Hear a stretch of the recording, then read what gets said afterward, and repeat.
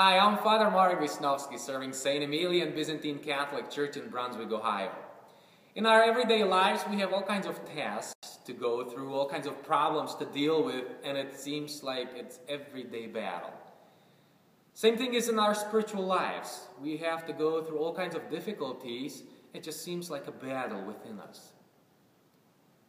A few years ago, I read a story that was a bit of an eye-opener and it created kind of an awareness in me. And it's a story of an old Native American who was talking to his grandson about life.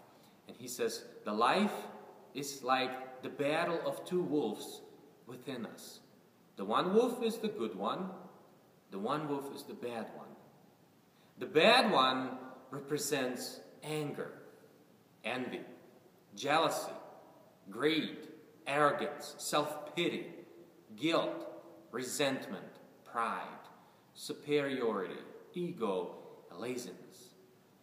And the good wolf represents joy, peace, love, hope, serenity, humility, kindness, generosity, truth, compassion, faith, and perseverance.